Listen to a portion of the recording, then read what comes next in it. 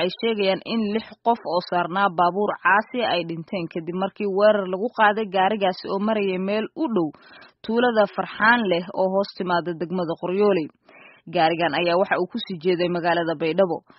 Ayaad iimaan aadan oo sheegay in ay ehel yihiin darawalkii gaarigaasi ayaa v o eda u sheegay in ciidamada amisom ee agagaarkaasi ku sugnaa ay rasaas ooda uga qaadeen gaarigaasi.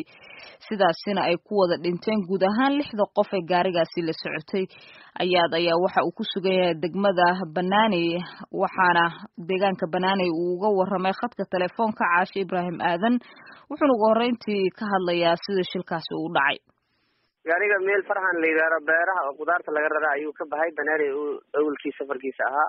Xalay wakti tobankii ay tahay ayaa wadadan meel qoryooley u dhow amisom ay roondo ku samaynaysay. Labadan awo maalmahan dhowba habeenadan waxay roondo ku samaynaysay sida qoryooley soonaheedii dhulkan garasjeereed meel la yidhaahdo xaaqinaha ilaa xarada dhulkan dhan habeenkii roonday samaynaysay amisom ha ciidamada ciidamada amison ha haye gaariga safar uu ku jiray ciidamada amison roondo samaynaysa ayaa waddada ku jirtay ayuu la kulmay.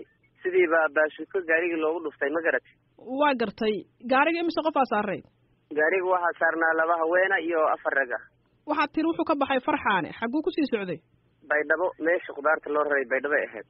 Wuxuu ahaa gaari homey ah haye baabuurta yarar oo baydhabo khudaarta geysa ayuu ahaa. Wiilka darawalka ka ahaa wiil aan qaraabo sokanahay ayuu ahaa marka sidiiba meeshaasi shilkaas ugu dhacay saddex baaluuto oo baasuka amisom noo iyada hadda ay wataan ayaa saaka gaariga meesha miidkaan ka soo qaadna hortiisa yaaleen.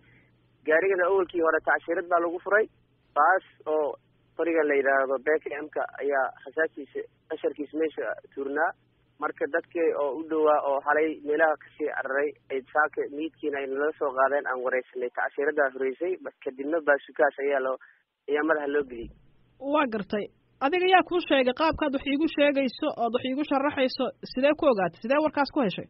Annaga xalay jugtoo dhahayso waan maqlaynay gaarigana waa la soconay telefonkii saakana lixdii baan tagnay lixdii aroornimo haye. Waxba noogama horeynina gaarigaasi oo aan awalba waddada shaki ka qabnay nimankii teleefanadooda ay damayn darteedaan u baahnay kadib markaan tagnay waxaan u tagnay gaarigii idna aan la joogin. Kadib markaan miidadkii waxaas inaan qaadno damacnay ayaa ciidamadii kale oo oo shabaab noo imaatay. Ay sawir sawir waxsaas ay qaateen. Markii dambe waxay dhaheen dadkaa meelaha geyn kartiin geeya la aaso. Dadkii oo gubtay oo madoobaaday. Ayaa gaari meesha ka soo saarnay. Waa garta. Waxaad ii sheegtay gaarigii inuu ka baxay farxaane. Baydhabo uu ku sii socday. Lix qof ay saarnayd. Qudaarna uu siday jugtaana aad maqasheen. Aad ka warhayseen. Kadibna aad gaarigii meesha ugu tagteen. Meesha gaariga shilka uu ku qabsaday sidee lagu ogaaday gaariga meeshuu marayayba noo sheegay. Sideedana dareenka waddada waa laga qabay. Kadibna telefonadii lixdaba telefon lagama haynin waxaan isnaanay wadadii amaa shil ku galay gaarigan. Marka saaka alasaydi aan jirmaanay. Wadada mar hadduu waaga bariyo roondii waxba ma jiraan. Habeenkii yaa dhib jira iyagana kolley waa qadarta ilaahay baa jirta iyaga sidaasay shilku ku galeen. Marka iyagu xilli habeena bay safraayeen miya sideedaba habeen bay safraan ba alasaydi bay dhabo galaan habeenkii ay socdaan sideedaba baawriyada kudaarta qaado kulaalkay diidaan maalintii.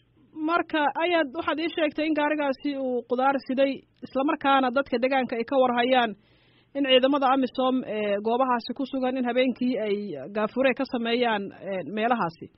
Mar haddii la ogaa in waddada halistaas ay ka jirto aad sheegaysa haddii la ogaa maxaa loogu bareeray oo dhinacaas loo maray? Ama maalin cad loo safri waaye waxay tahay ciidamada xilliga ay gaafureegaan roondadoodii everyday maaha waa marmar bay soo kacaan oo xaalad ay jirto.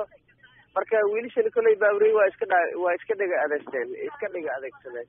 Marka sidaasay shilku ku galeen. Marar badan baa loo sheegi jiray waxna aysan kala kulmin oo iska gudbi jireen marna dhinacaas qoryoley dhinacaas oo garasjeeradii dhulkaas roondada u baxdaa mar dhinacanay u soo baxdaa lama oga meel ay u kacdo habeenkii waxaad ii sheegtay in adiga qof ka mida dadkii gaarigaasi saarnaa aada ehel haydeen qofkaasi magaciisa maxaa la yihahdaa cabdullaahi hindi aa la yidhaha deegaanka aad baa looga yaana nin baaburey oo qoryoley aad looga yaana cabdullahi hindi la yidhaha marka ninkaas qaraabo sokaanahay allah unaristo ilmo badan buu ka tagay.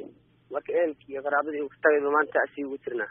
Waa gartay. Cabdullaahi muxuu ka ganacsan jiray isaga cabdullaahi nin gaari wada ayuu ahaa weligiisii oo intuu hadda gobolkan shabeelladaas u joogay gaari baa looga yaana baabure nin baabure aana qoryoley aada looga yaana looga yaqaano ayuu ahaa.